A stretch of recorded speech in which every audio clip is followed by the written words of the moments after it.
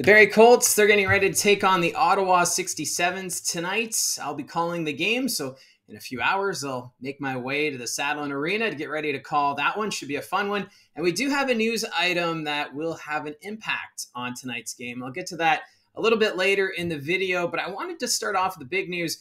Coming out of Kitchener, Hunter Brzustewicz, the defenseman of the Rangers, has signed his NHL entry level contract with the Calgary Flames. So big congrats to uh, Hunter Brzustewicz.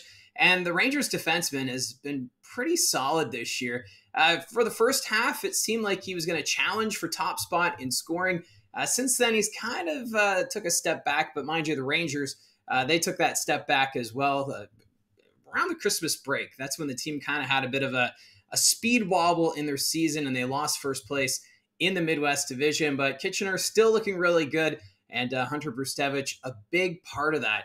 And uh, for him, uh, he was originally drafted by the Vancouver Canucks in the third round of the 2023 draft, but was traded to Calgary in the Elias Lindholm deal. Uh, that was back January 31st. So the Calgary Flames love what they saw with Brzustewicz and Kitchener. They decided to acquire his rights and now have signed him to this entry level deal. This season, Brzustewicz, 12 goals, 73 assists, good for 85 points which is 10th overall in the OHL in points. And uh, he's only behind Zane Parekh in defenseman in points. That just goes to show uh, how crucial Brzustewicz is on this team. He's just got that great breakout pass. He's contributing offensively with those 12 goals, uh, but 73 assists. That is a huge total for him. And it's going to be very fascinating to see how his game will carry over to the National Hockey League level uh, once he is able to make that leap. Uh, but uh, he definitely deserves this deal, and uh, it's going to be fun to see what him and the rest of the Kitchener Rangers are going to be able to do uh, as they get ready to go into the postseason. They're still trying to catch Sault Ste. Marie for third spot in the West. Right now, it does look as though uh, Kitchener will finish fourth, but they still got to play those games.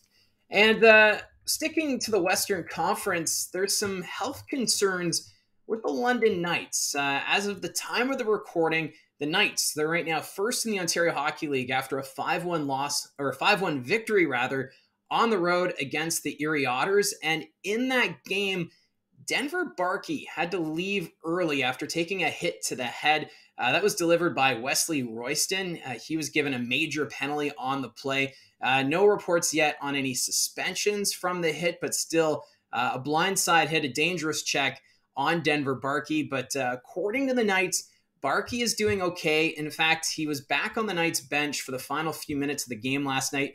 Uh, he didn't take another shift, but he was out there to celebrate the victory with his team. So that is a good sign if you're a London Knights fan. But if uh, you tuned into the game yesterday, you'll also know that Easton Cowan did not play last night, putting his point streak on pause. And uh, according to the team, he took to the ice Tuesday for a bit. He's been dealing with an upper body injury uh, and he just didn't feel comfortable. So he didn't join the Knights on their road trip to Erie. Uh, so that point streak still sitting at 32 games. It sounds like Cowan should be in the lineup tomorrow when the London Knights take on the Soo Greyhounds. And of course, if he gets a point tomorrow against Sault Ste. Marie, that extends his point streak to 33 games, which would then match a franchise record, which was set by Dave Gilmore in the 1993 94 season. So it'd be a nice touch for him to get that point streak uh, milestone on home ice in front of the crowd at Budweiser Gardens.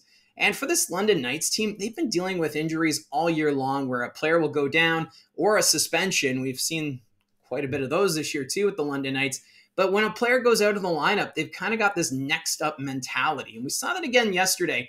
Uh, Jacob Julien kind of fit into that spot for Easton Cowan, and the Knights were able to uh, get to that victory. They were up 2 1 uh, when that hit happened on Denver Barkey and then put up three goals, two of them coming on the power play. So this is a Knights team. They've got a lot of weapons. And even when they don't have Denver Barkey or Easton Cowan in the lineup, uh, they still get things done. They also were missing Sawyer Boulton. I haven't seen confirmation uh, as to his status, but uh, it wasn't a suspension, uh, but he was not in the lineup uh, for London. Now, the playoff picture for the Ontario Hockey League, it's starting to become a little more clear. We're now less than two weeks away from the end of the OHL regular season, and now all eight playoff teams are set for the Western Conference after Sarnia lost to Mississauga last night. Uh, seven of the eight teams have been decided in the Eastern Conference. We're just waiting for the eighth spot. Right now, that eighth spot being held by the Barrie Colts. They have an eight point lead over the Peterborough Petes. Uh, a two points here tonight for Barrie would go a long way in potentially clinching that playoff spot. But uh, they're right now on a two game losing streak, and Ottawa, not one of the teams that uh, you can take lightly. So uh, that battle is still happening at the bottom of the standings. But I wanted to take a, a, deeper look because the standings are so tight. We have no idea what the playoff matchups are going to be as of yet. Uh, when you look at the West, we'll start things there. London and Saginaw still battling for first place overall. The Knights uh, right now have the advantage. They're two points up on Saginaw, uh, but Saginaw, a game in hand, and the Spirit have the tiebreaker. So that race could go down to the wire. And then when you look at the positionings, fifth to eighth, they're all separated by just two points. You've got uh, the Owen Sound Attack, they're in fifth, Erie, Guelph, and then Flint. Two points within each other, which is crazy. So we might not know those positions right up until the end of the regular season. The only spots that seem to be uh, secure is third and fourth. The Greyhounds still trying to catch Saginaw, but that gap continues to grow. And uh, for the Kitchener Rangers, uh, trying to catch the Soo Greyhounds, but again, it's that gap. Uh, but so we'll have to wait and see. But still, fifth through eighth, two points separating them. then you look at those four teams. The Flint Firebirds might be one of the uh, teams to watch out for in the first round as a potential upset. They've been playing some great hockey since the OHL trade deadline. At the deadline, they were fighting for their playoff lives, and then they made those trades. They sent Zachary Giroux to Sudbury, and then uh, Gavin Hayes to uh, the Soo Greyhounds, and then brought in Oliver Peer and Roberto Mancini.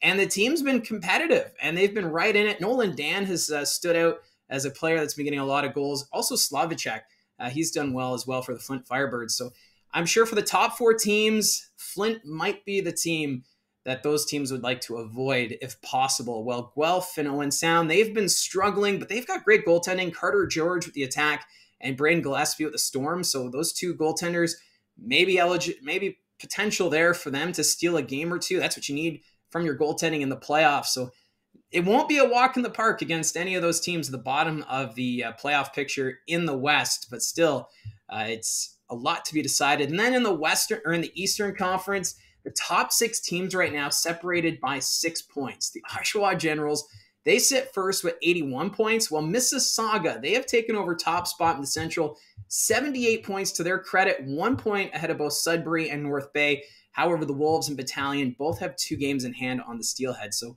uh, the Central still up for grabs with those three teams, and we'll have to wait and see uh, see what happens on there. But it is some exciting times as we get closer to the postseason.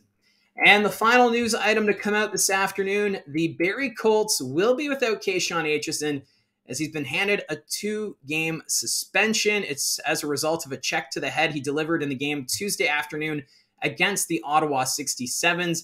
And for Aitcheson, he is known for playing that physical style. And uh, sometimes uh, players who have that kind of style kind of cross the line. And uh, that's what happened for Kashawn Aitcheson. It's, uh, I know for Aitcheson these last few weeks, or if not the last couple months, uh, he's been in the news a lot with everything going on with the bounty situation with the Sudbury Wolves, and I did see a lot of fans uh, commenting uh, on the hit that Aitcheson delivered there on Tuesday, and it has in fact uh, led to a suspension. So he'll be at two games. He'll miss tonight's game against Ottawa and Saturday's game uh, against the Sudbury Wolves. So there was question marks on uh, how that would all go on Saturday when Sudbury comes to town, but with Aitcheson being suspended, we don't have to answer those questions. so that's how uh, the news is shaping up right now around the Ontario Hockey League. Let me know in the comments section down below your thoughts on any of these news items. Don't forget to hit like and subscribe, and we'll talk to you again soon.